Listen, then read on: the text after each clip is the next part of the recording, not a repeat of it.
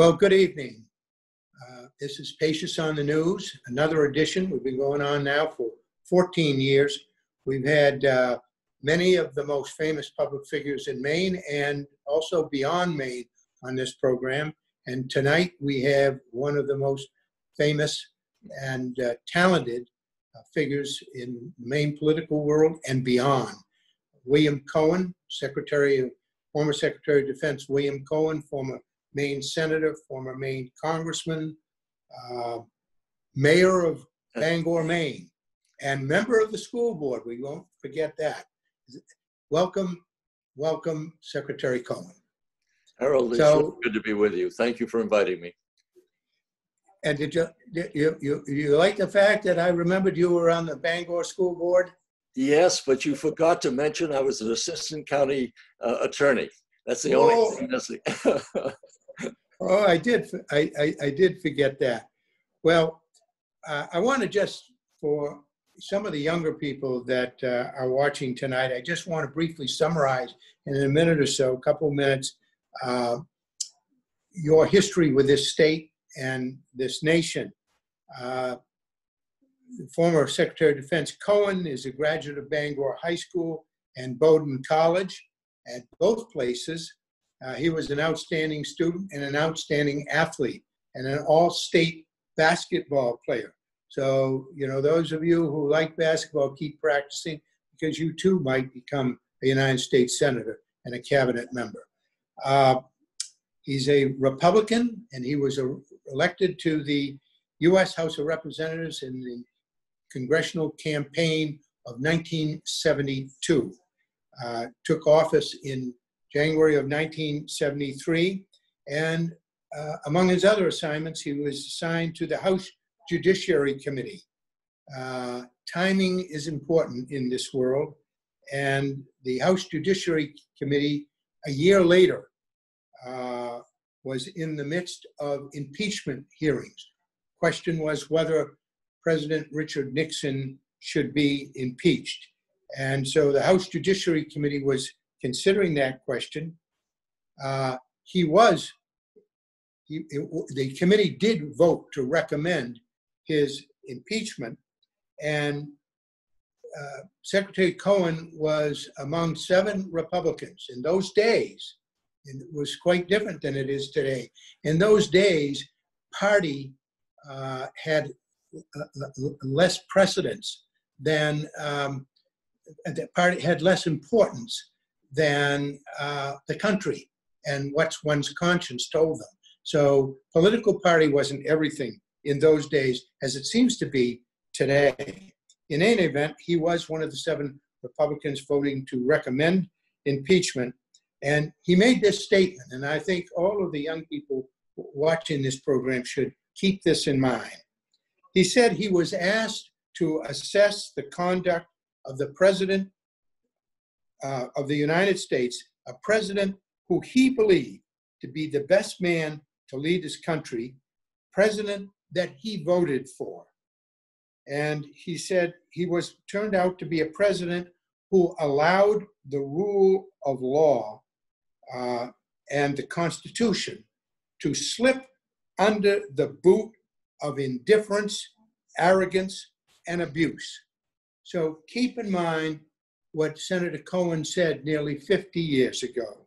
Someone he voted for, someone of his own political party, who he said allowed the rule of law and the Constitution to slip under the boot, boots of indifference, arrogance, and abuse. In 1978, he was elected to the United States Senate, serving as one of Maine's two senators, and he served there for three terms. And those were the days when there was much more comedy, and perhaps he'll talk about that a little later, uh, in, in the US Senate. Uh, our other senator, uh, for most of that time, was a Democrat, George Mitchell. The two of them are friends. They've written a book together. Uh, these things don't happen anymore, but they did then, and maybe Senator will comment in a little while about where the difference lies and why. Uh, among other things, uh, while he was in the Senate, he was selected to be a member of the committee that invested the Iran Contra scandal. In 1996, President Clinton, a Democrat, appointed William Cohen, a Republican senator, as U.S. Secretary of Defense, one of the two most powerful positions in the United States government. Mr. Secretary, many in our audience are familiar with Bill Cohen, the famous Republican politician from Maine, but don't know about your life over the past 20 years since you've left the Senate. Maybe actually more than that, 24 years since you've left the Senate. Tell us about the Cohen Group, which is your business, and a little bit about your post political life. Well, Harold, thank you for that uh, very uh, elaborate uh, recitation of some of the things that I've done with my life. Uh, I appreciate the, the, generosity you've shown uh, in that regard. Uh, since I left the Pentagon, I started something called the Cohen Group. oddly enough, the name came quickly to mind, but it was something I actually had planned to form as soon as I left the Senate. Uh, I had made arrangements to uh, lease an, a building or an office building downtown uh, Washington. I had just two of my staff uh, members uh, who are going to join me. I thought about linking up with Senator Sam Nunn on a, uh, a part-time basis. He was going to devote a third of his time to uh, academics in, in Georgia, a third of his time to public service, and then a third of his time with me. Uh, well, that got interrupted when President Clinton asked me to serve as the Secretary of Defense. But I had always planned to have something called the Cohen Group and to deal with international uh, policies. Um, and so the day uh, I, I, left the Pentagon, on uh, uh, I guess it was January 20, at noontime, all this, uh, the Secret Service personnel, or those who were assigned to me, pulled out all of the equipment out of my apartment, uh, and I was on my own. So I took one day off, and the next day after that, we opened up the uh, the Cohen Group with Bob Tyrer, Jim Bodner, and H.K. Uh, Park, and that was it uh, from uh, my days at the Pentagon. And we just started not knowing what we'd be able to do. And since that time, we have grown from the four of us. I think there are roughly almost 75 people in the firm now. Uh, we have offices globally um, uh, in China, uh, in um, Australia, also a small office in, in London, and um, a main office here. and um, so that's about it. Another office in India. So we're in India, China, Australia, uh, London, and basically uh, here in the United States. What we do is we represent major companies who uh, do business globally. Uh, we help them to understand the uh, the nature of the uh, of the countries that they're either already in and want to expand or want to enter, and what are the barriers to entry, and try to understand them. So, all of my travels during the time that I was served in the House and the Senate. I was able to establish relationships at various with various government officials, many of whom rotate out of power. So, you know, the Rolodex gets uh, old pretty quickly in this, in this day and age. But as a result of all the travel I've done over the years, uh, I have been able to uh, build friendships. And so, as a result of those friendships, I'm able to understand the countries in which these multinational corporations want to do business in. Uh, and that is what we do at the international level, and uh, we also represent American companies here. But in the process, we, uh, we represent foreign companies who want to do business uh, in the United States, whether they were from China, India, Australia, uh, the EU, uh, wherever they are. We have a pretty active Latin American pr practice right now as well. And so I have many, a number of Spanish and Portuguese speakers and in each of the countries we are, we have uh, nationals who speak the language in the country that we're we're in. So it's um, it's a really uh, it's a it's a wonderful firm. I've got some of the most talented people I think in the world. I've had uh, four and three star generals uh, uh, in the firm. Have them now. I have uh, four the the best former ambassadors, and I chose generals and ambassadors because they had a world vision uh, and understand the dynamics of uh, world economics, trade, and strategy, uh, and have had major budgets. Certainly, as a four-star general, um, General Joe Ralston, former uh, vice chair of the Joint Chiefs of Staff, former Supreme Allied Commander, Uh, we've had Nicholas Burns, who was um, uh, number three at the State Department, Ambassador Marc Grossman, number three at State Department. And so I picked these individuals who look at the world and understand that we need to build alliances, we need to have friends, we need to develop strategies, uh, both at the strategic level, but also uh, at the economic and diplomatic level.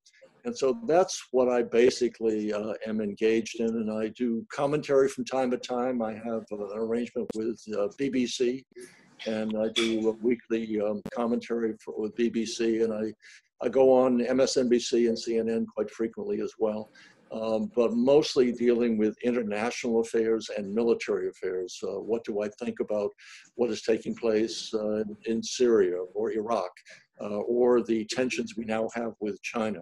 Uh, how do we build a better relationship, a strong relationship with India and Australia? and these are the issues that, that I deal with, uh, both on the economic side of things, business side of things, uh, but also on the strategic. Can you, you uh, uh, just hired somebody that our audience would be very familiar with, just come to work for the Cohen Group, General Mattis. General Jim Mattis has uh, joined us. He was a young colonel when I was at the Pentagon, he was a young colonel in my office. I could tell how talented he was then. I also knew he didn't like being at the Pentagon. Uh, he wanted to be out on the field. And so uh, he is a man of action, and I know he was chafing at the notion of being in the Pentagon, dealing with all the issues uh, that one has to deal with from presenting matters uh, to Congress, uh, just the day-to-day management of affairs in the Secretary of Defense's office. And so um, I met him then. I admired him then. I watched his career grow. And then when he left uh, service in the Trump administration, I asked him if he would join me, and he did. And so it's been a great addition to the firm. Um, but he has joined uh, General Paul Kern, who's the former head of the um, the um, command dealing with uh, all of the equipment and, uh, and uh, uh, resources needed by the Army. I have three star from the Air Force. and so we've had two, actually two stars, three stars, but four stars who are dealing with us now, including Jim Mattis.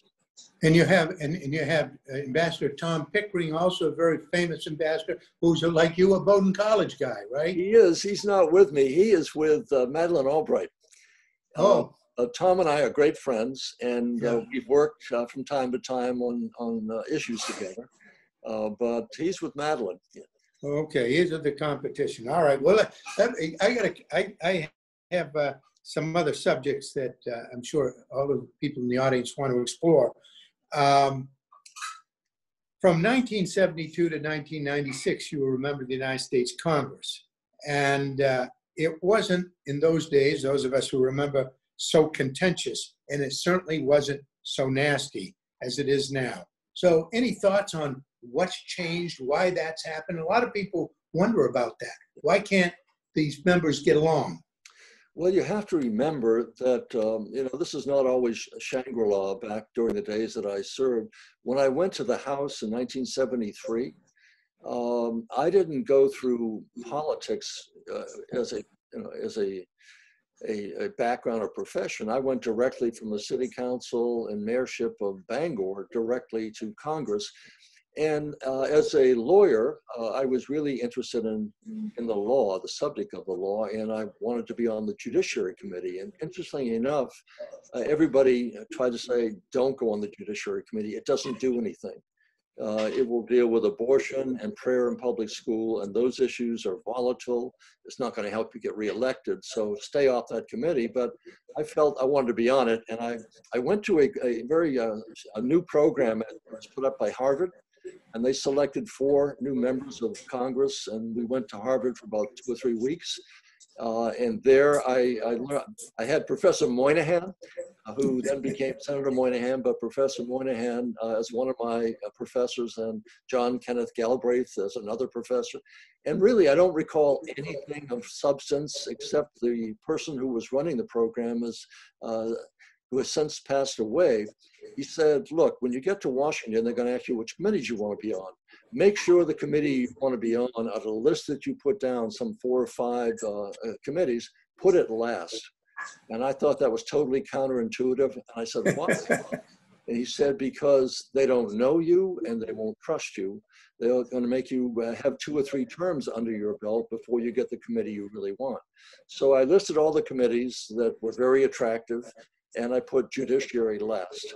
And that's how I ended up on judiciary. And that's a long way of telling the story that even on the judiciary committee, you know, it was not really geared to contentious issues other than, you know, the politically hot ones like abortion and prayer in public school. But suddenly uh, we had the Saturday Night Massacre and then the firing of uh, uh, a resignation of Elliot Richardson, Bill Ruckelshaus, the firing of Archibald Cox, and suddenly we're in the middle of impeachment. During that time, it was very contentious. People may not remember this, but uh, uh, we had bomb threats uh, during the course of our hearings. We had threats on our lives during those hearings. Uh, we had real partisan bickering during those uh, hearings. But we also had a core group of people, there weren't many, but a core group of people who said, let's just look at all the evidence and see whether or not we can agree on a couple of issues. And we came down to abuse of power, uh, and uh, what the other one was in, um, obstruction of justice. Uh, and so, but it was very contentious, but it proved one thing that if you're going to impeach the president of the United States, it has to be bipartisan.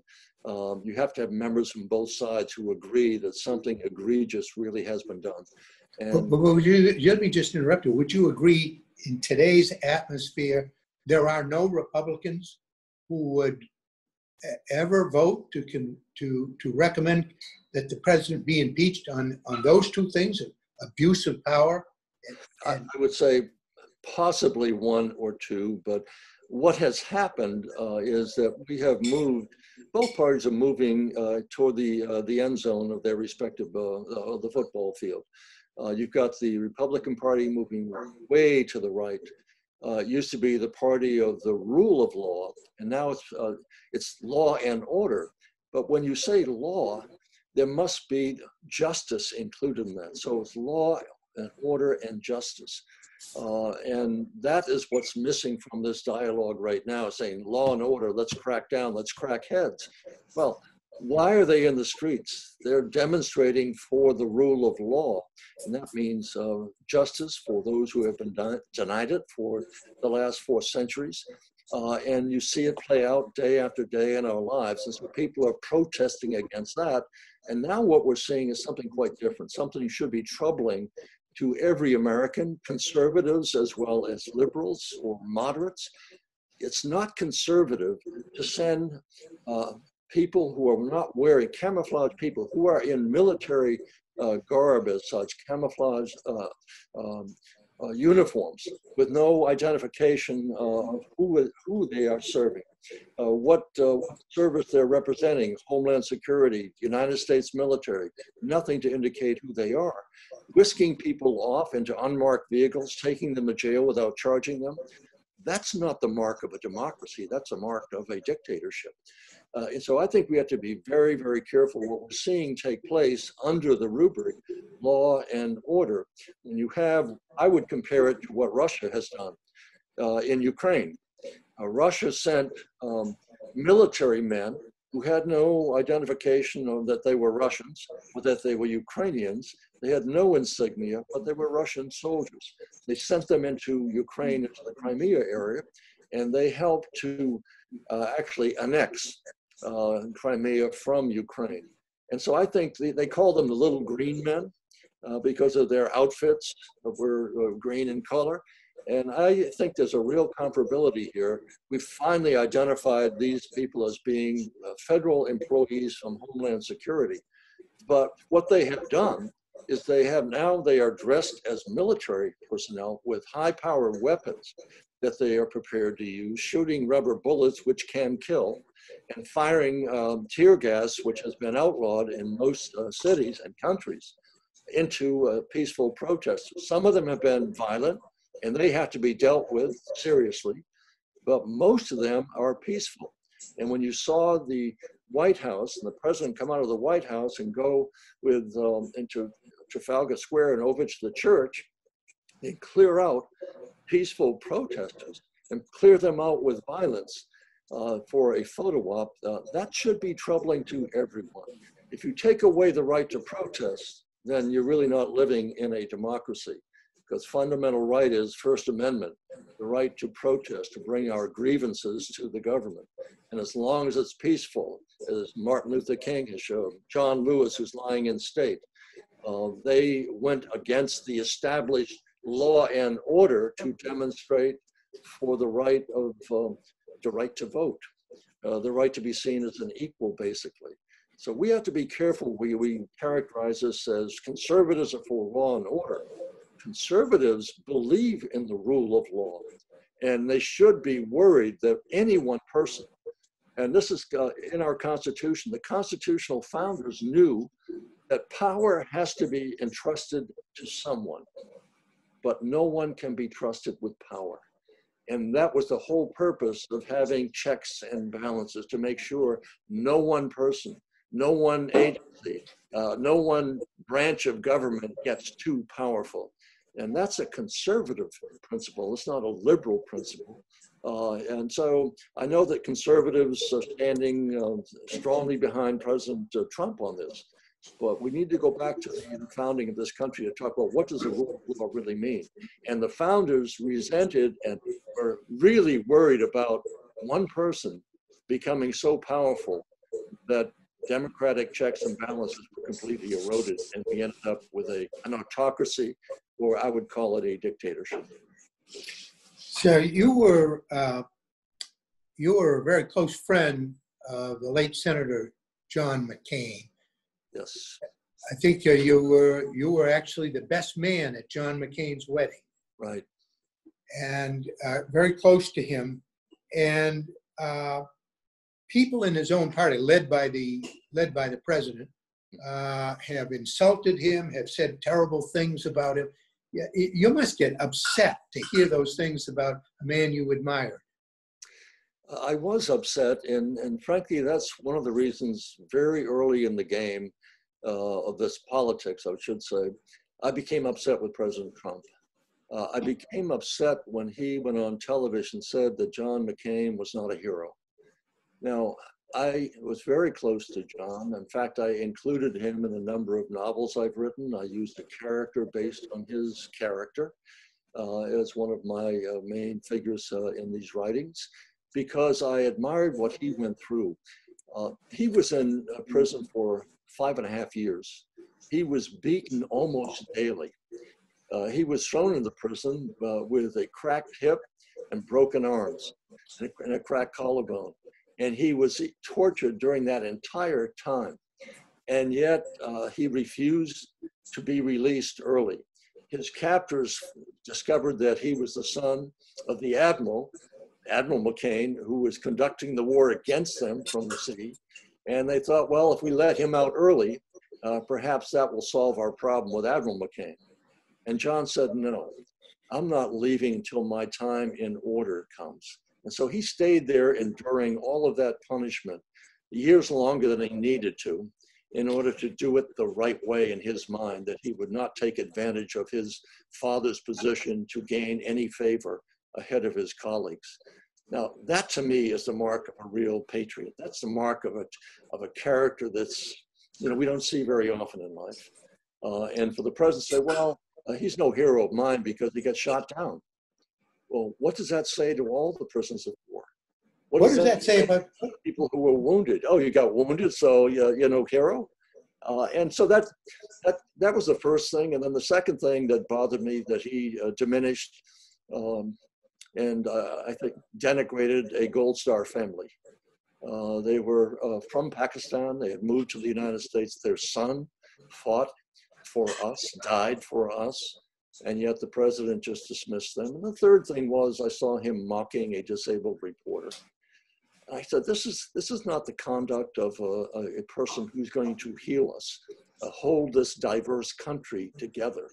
And I felt just seeing that take place, it told me what I could expect. I think everything I expected uh, and suspected would happen has happened. But, uh, Mr. Secretary, the, the interesting part about all of this is that all the polls show that uh, 85, 88, 90% of people who self identify as Republicans are big supporters of the president. They're the people that voted you, voted for you. I mean, they were your base too, uh, as a Republican uh, member of Congress from Maine. What is this all about? I mean, this guy is not a guy of character. Uh, the president, he's uh, mean, he's nasty, uh, and they love him. What causes that? Well, a number of things uh, have happened. I, I, just wish the Republicans um, who continue to identify as conservative uh, members of the party would look at what's happened to our country, not only here domestically. I mean, the president has said, by way of example, that he's a wartime president because of the coronavirus. What would a wartime president do? A wartime president would say, let me gather all of the governors in this country. Let me gather all of the federal agencies in this country. Let me gather FEMA. Let me gather DLA, which is the Defense Logistics Agency. Let's marshal all of the forces that we have, be able to distribute what we need in terms of PPE uh, and um, other uh, ventilators. Let's do it together as a nation rather than saying each state is on its own when in fact a virus doesn't recognize state borders. A virus doesn't recognize uh, continental borders. A virus is only a handshake away. A virus is only a plane ride away. And so the notion that somehow states you're on your own isn't a wartime president. It's an abdication of presidential power. It's a dereliction of duty, uh, in my judgment. Now, why do they still uh, follow the president in this manner without question? is because I think he operates out of fear. Uh, as far as the political figures, uh, uh, people in the country don't necessarily fear him. They uh, they mostly agree with the image that he projects.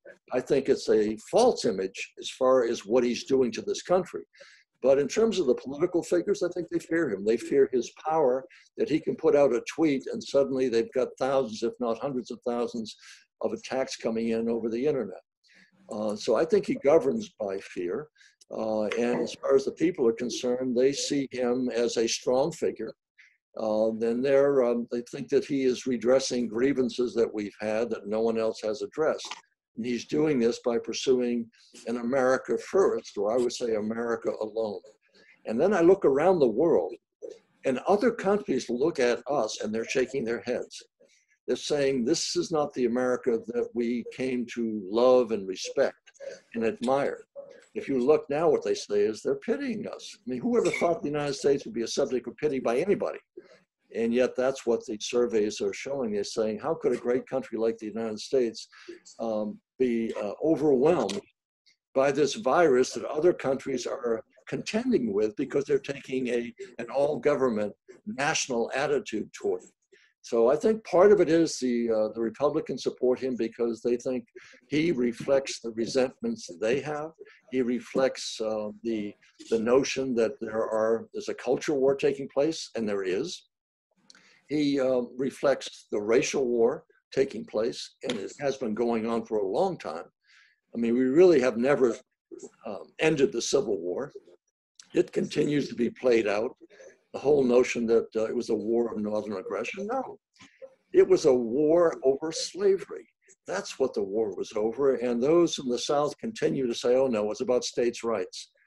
States' rights to do what? States' right to keep people in chains, states' rights to keep people uh, working with free labor under extraordinarily harsh conditions. So I, I think we need to have uh, more education on who we are, what our history is, uh, and then start to look at a leader. I think President President Trump could have, from the very beginning, he could have said, "Look, I campaigned in this fashion. Yeah, I'm a little bit crude at times. Yes, I can be nasty, but I want this country uh, to heal. I want to heal the division between the right and the left. Uh, I want to find common cause. Uh, that's what that's what gov- the art of government is compromise. I mean, anytime you have more than two people in a room, you have to compromise. My right to swing my fist stops where your chin begins.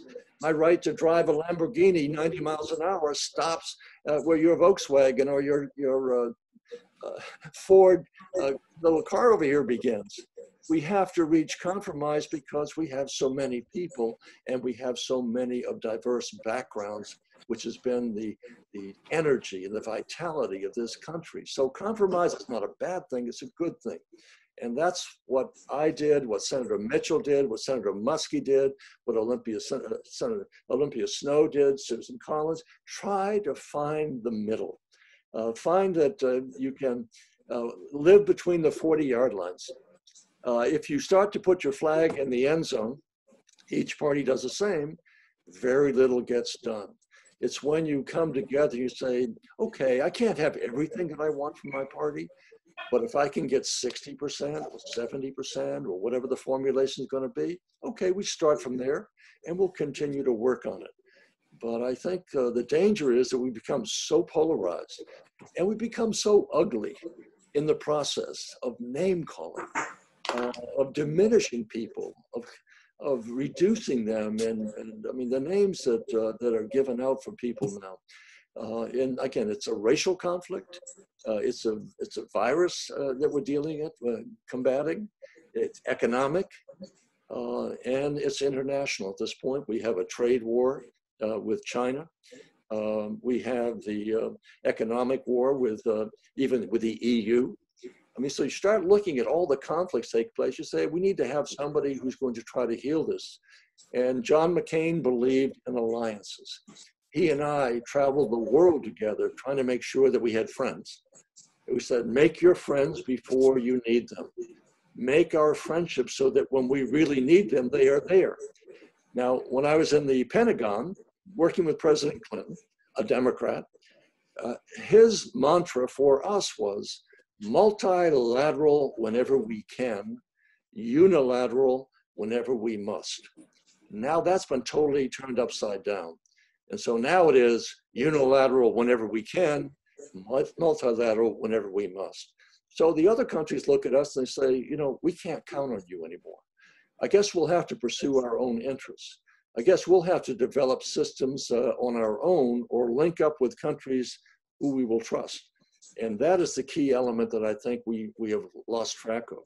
If countries don't trust you, they will not support you during times of strife during times when you really need them. And so uh, I think we're in a dangerous period for all of the reasons I mentioned. And I, I, I hope that um, uh, in this next election, we say, let's elect the person that can um, bring us together as best we can. I think it's going to be hard. Um, I think if you have to look at it, uh, uh, Biden is ahead for now in some of these states, but I think the uh, uh, the president of the United States still has uh, still has a very good chance of, winning. And, and let me take you back a, a, step to something you said about the cultural war in the United States. Uh, I know so many people, decent people, who get very offended at black the the, the, the slogan Black Lives Matter, and they and they always say, and you've heard them, we've all heard them. Wait, wait a minute. What what about white lives? White lives matter. And so there is this defensiveness among people. And part of it also is, well, I'm not a racist, and everybody denies being a racist. I think they like to think they're not racist, but they are. Now, would you comment on that? Sure. Just think about Amy Cooper. Amy Cooper was the young woman in Central Park who didn't have her dog on a leash. I take it that she's a liberal, uh, and you would think that as a liberal, she would uh, be racially sensitive, so to speak. And what did she do? Uh, a black man who was a, an avid bird watcher, um, who was out there, called her and said, Look, your dog is not on a leash and it needs to be on a leash. That's the law. And what did she do? She picked up her phone and she called the police and said, What? there's a black man and he's threatening me. Now take that phone call in the context of all of the young, unarmed black men who are being shot by the police. And I could list them down the line how many there have been. They have, uh, and so what she knew in her heart of hearts that if she called the police and said, There's a black man and he's threatening me, they would come and they would take her uh, version of the story as opposed to his. And his life be put in jeopardy because we've seen that take place. Uh, from uh, uh every, uh, the, the, the, gentleman got shot while he was jogging. George Floyd, uh, who was crushed to death under the boot and the heel of the police officer. You start going down the list of what's happened in this country from the time that this country was formed. You say, well, we're not racist. Well, we are racist. We formed this country. What did Tom Cotton, Senator Cotton, say just the other day? Senator Cotton said slavery was a necessary evil. It was an evil, to be sure, but why was it necessary? Why was it necessary to bring human beings, put them in chains, drag them all the way across the Atlantic in chains, in the bowel of ships, where half of them had to be thrown overboard because they couldn't make the trip, and keep them in chains for several hundred years? Why was it a necessary evil? Why weren't white people willing to do the work? So to, to, these are the things that we have to discuss to say we treated human beings as animals. Uh, we treat them, treated them as a burden of, uh, of beast, beast of burdens, I should say.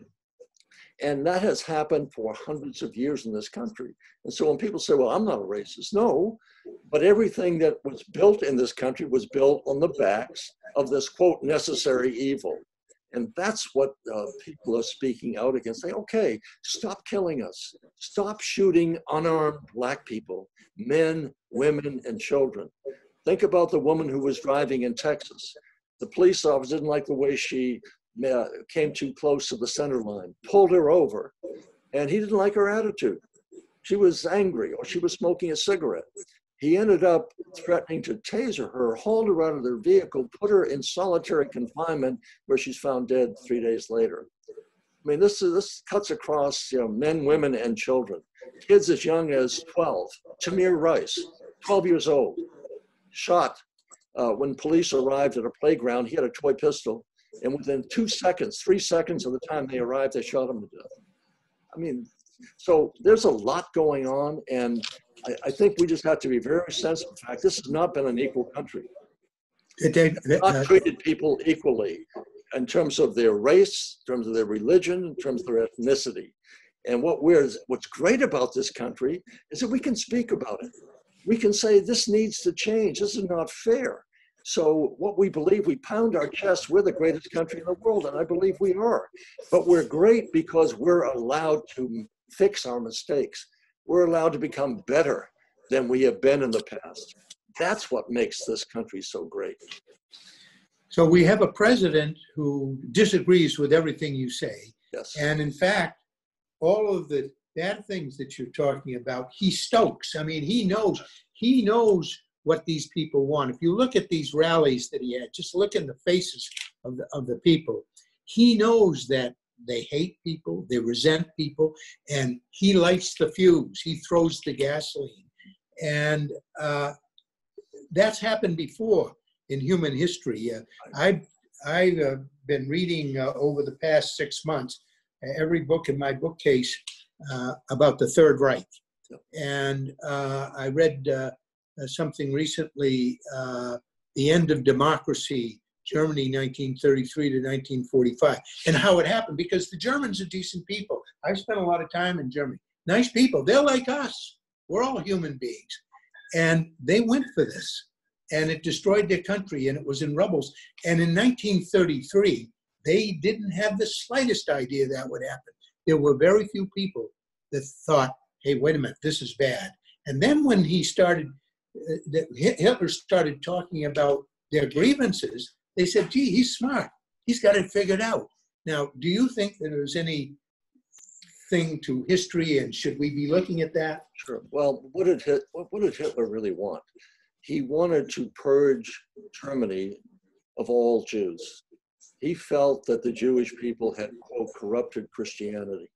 And therefore, the only way to have a, a redemption a spiritual redemption was to get rid of, of every Jewish person, not only in Germany, but throughout Europe. That was his goal. Now, what's happening in this country is President Trump doesn't say it exactly, but he's doing it through his actions. He calls Black people, Black Lives Matter in particular, thugs. Why are they thugs? because they're out demonstrating in the street. Uh, what if they were white people, as they are more and more becoming? Uh, white people thugs when they're demonstrating on behalf of, uh, of uh, justice for equal treatment? Uh, when he criticized Colin Kaepernick, who took a kneel during a football game when they were playing the anthem. Now, was he kneeling against the flag? No, he's saying, I'm using my position to try and call attention to have the police stop killing and stop shooting unarmed people. And what the president said, he's an SOB, uh, throw him off the team, he should be thrown out of the country. But what happened? President, President Trump goes to Helsinki and he takes a knee to President Putin. think about this. You think about this.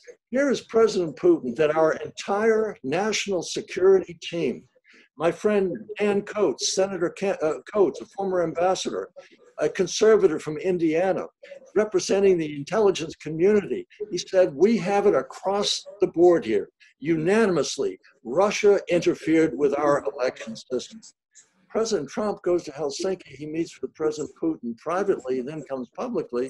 He said, Oh, I asked him, and he denied it. And uh, I have no reason to uh, not believe him. He threw our entire intelligence community under the bus for President Putin. And he's done it systematically. He's done it in Syria. He's done it everywhere we have an interest, and President Putin has a different interest. He yields to him. Now, uh, you have to ask why. Why won't the president release his tax returns? Uh, I asked this question uh, a week after he was elected. I was on CNN at that time. There was a, a wrap up of all the coverage of the inaugural. I said, the president, here's what I would like to know. What does the president own? What does the president owe? And to whom does he owe it?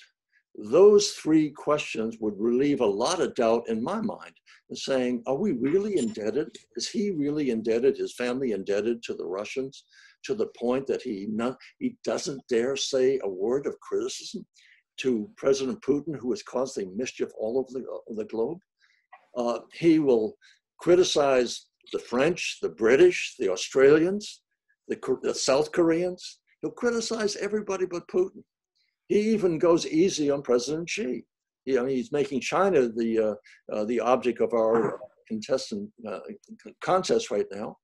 But Kim Jong Un, my best friend, my good friend Kim Jong Un, one of the worst killers uh, in the world history. So something is going on that we don't know about, and his refusal to release his taxes tells me something. He's hiding something. Oh, I don't know what it is. But then my well, imagination starts to speculate. Uh, exactly. Now, I couldn't agree more with what you just said. He's hiding something. Yeah. But why is it that those 85% of the Republicans who love him are not at all concerned about the fact that Putin is the only person in America in, in, the, in the world that he's not insulted. Nobody else is insulated from his insults except Putin. But I have a couple of quick questions. We're, we're running out of time. And one of them is um, you talk to people, you know people in Washington, you know politicians, and you know a lot of Republican politicians. They were your colleagues and you served with them. Um, do, don't they see what the president is trying to do to this country? Don't they? Are they just oblivious to it? They don't understand it? They disagree? No, they think he's doing a wonderful job? What is it? Or is it just they're keeping quiet? Well, I mentioned it before. There are two things. Number one, uh, there is fear. Uh, every Republican who has spoken out in any way being critical of President Trump uh, has lost. Uh, they've either either lost or retired because they would uh, be facing defeat. And the other uh, issue is that they have to agree with him. If they're unwilling to speak out, then it's either fear or they're complicit one or the other. Now, earlier you asked, what's the reason for this? I think social, the rise of social media has contributed to it. And uh, the internet, social media, it's all really extraordinary technology, the ability to communicate on a ubiquitous basis instantaneously. And so I think of the internet as being a river of ideas. Uh, it's also um, a sewer. So you have the river that's flowing with new ideas, new concepts, uh, and good things.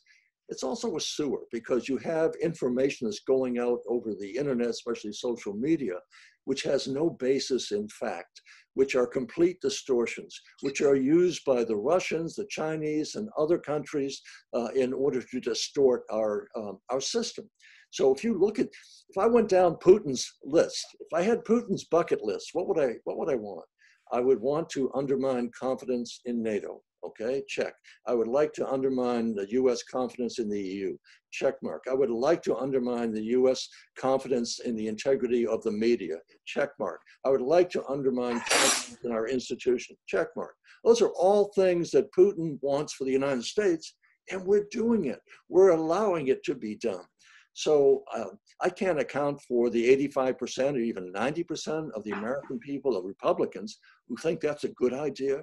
What I think is a good idea is we come back to our original uh, basis that we believe in the rule of law. We believe in equal justice for all, that we believe that no person stands above the law, including the President of the United States, that we're all subject to the same rules. And we get back to that and then start talking about fiscal responsibility. This is a core argument uh, and theology for Republicans, fiscal responsibility. And we're just racking up the, uh, the, the national debt to a point where our kids and grandkids will never be able to pay it. So fiscal responsibility, uh, having uh, a, a, a, respect for our institutions, rule of law, fairness for all. Uh, those are the issues that we need to bring us back together. So uh, you touched on uh, on financial matters, and management of the government, and so forth. Uh, the president is certainly not a deficit hawk. He could care less about it. He doesn't have any ideology. Would you agree? I agree. Uh, listen, the president uh, is uh, he's an opportunist in the sense that he's a he believes in transactions. I don't believe he has a coherent strategy in terms of a worldview. I think his worldview is I'm going to do whatever benefits America and the rest of the world can take care of itself. Well, wait a minute. I want to stop you there. I, I would say whatever benefits Donald Trump. Well, okay. Uh, he does look after his own interests, and that gets back to how he's benefiting in office uh, while he's serving again, uh, yeah. talking about how much money he gives up by being in, in the office. His family is benefiting enormously. Uh, and, and, when they start attacking Joe Biden, Joe Biden will have to you know, answer for himself. But when uh, the president takes his family, they go to China, they get trademarks, they get uh, all sorts of benefits. So he's looking out. He wants to send, uh, have the, um, the, the golf tournament in uh, in uh, London at his um, golf course in Scotland. I mean, amazing what's going on in terms of the enrichment of his office.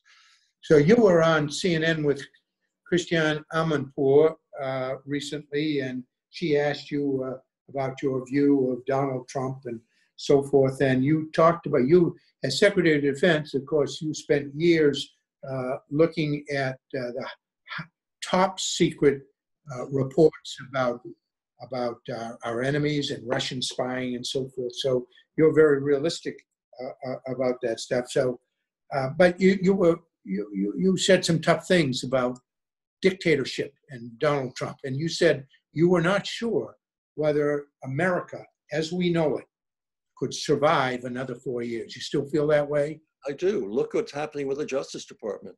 The president has intervened and arranged for pardons for his friends and punishment for his enemies. That's not the mark of a president acting on behalf of the United States to intervene in judicial matters, to take things away from prosecutors at the last moment, say, oh no, I don't care whether he's pled guilty. Uh, I don't want him to be guilty, so let's just cut that out. Uh, firing uh, professional prosecutors, uh, getting rid of people. Uh, Sally Yates, who called attention to what Michael Flynn was doing by contacting the Russian ambassador and dealing with the Russians while he's representing a Turkish uh, uh, government. Uh, he got, uh, she got fired. Then it was Jim Comey, uh, director of the FBI, who said, I'm not going to pledge fealty to you. I pledge my obligations to the Constitution, not to you personally. So he gets fired. Then the assistant gets fired. The deputy gets fired. Uh, and then you, you you, you take these individuals who are career professionals and just get rid of them all. You had the career professionals in Ukraine. What did he do? He fired uh, uh, the career professional who's an expert on Russia, gone. Who's he been dealing with? Igor uh, and uh, his friend, uh, uh, Lev. So yeah. Lev and Igor were the, the, ones he was using, using Rudy to go around. Ru- Rudy Giuliani. Rudy Giuliani all I want to do is get back to saying the United States believes in the rule of law. We believe in treating people equally. We believe in fiscal responsibility. We believe that no man or woman stands above the rule of law, that we all abide by it. And we do not use the presidency to enrich ourselves or our families. That is what I think we have to get back to. So uh, that's what I've lived by. I've tried to live by during my career, long career in public office. And remember, an elected official, the President of the United States, he's a fiduciary, he's a trustee. And what the courts have said over the years, the trustee, a fiduciary, owes you something higher than the morals of the marketplace. We, heart we expect you to be very high in terms of your ethics and your obligation and not look out for your self interest, only that of the country. That's what I want to get back to. You've known a lot of politicians in your days. You served with them, colleagues. Uh, after all of these decades in public life, uh, do you think that the character of leaders, of political leaders, is is important, or just the transactions, what they do? Know character is everything. Character is destiny, and I'll tell you why I am still optimistic, notwithstanding everything that I've said uh, I come into contact with uh, students and young leaders. Uh, in my office this summer, for example, we have 15 uh, students who are either in uh, undergraduate or some possessing graduate degrees, some whom have served in the military and come back out. And uh, we unfortunately have to do it through kind of distance learning, but I bring them in every summer to associate uh, with uh, uh, General Ralston, with General Jim Mattis, with General Kern, with Ambassador Grossman, I said Ambassador Burns, to bring them in and to see how government works or at least should work. And when I see the talent that's out there, when I see the idealism of these young people coming up, we have several, a couple of them from Maine, uh, Colby, the university. We've had them from Bowdoin. Uh, but we have them from all over the country and even international students. And when I see the talent uh, and the intelligence and the ethical standards they have, you know, I really feel good about that. But that's why it's really important that we look to them and try to inculcate in them what the history of this country has been, where we have fallen short, what mistakes we have made, where we have failed to measure up to these noble words that we keep insisting upon that we represent, so that um, we have life and liberty, pursuit of happiness for everybody, not just for a privileged few. Secretary Cohen, I can't thank you enough for agreeing to talk to my audience and these folks in Maine. Uh, uh, many of whom are old enough to have been your supporters, voted for you at, well, uh, at one time. Fewer and fewer of them are still with us. fewer, fewer, fewer and fewer. I hope, I, I don't want to put you in the spot, but I hope we can get you back on at another time to comment on what's happening uh, in this country. I'll, Thank you very much. You invite me, I'll be there. Thank you very much. Okay.